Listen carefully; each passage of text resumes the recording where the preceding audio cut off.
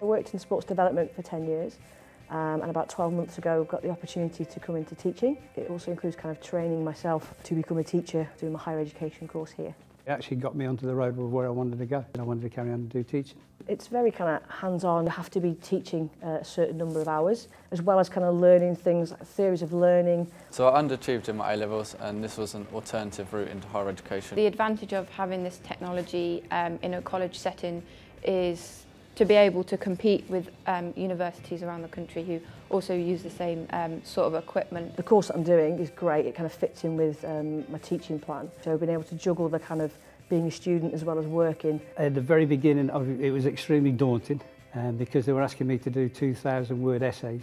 But then the teachers actually sat down and gave me one-to-one. -one. So doing the degree has given me confidence doing presentations, speaking in um, front of people that I wouldn't necessarily have spoken to. In uni, the classes are uh, much more bigger. With like my class now, there's only nine of us, therefore we have more one-to-one -one support. The staff from a, a colleague perspective as well as being tutors are really, really supportive. We've got the undergraduate centre for HE students, a little area for ourselves and there's TV, tea and coffee, or even over at De Montfort we get full range of their facilities using their library, their online hub. The support you get here and everything you're learning as part of the course, it does help you kind of take the little baby steps towards your goals that you want to achieve.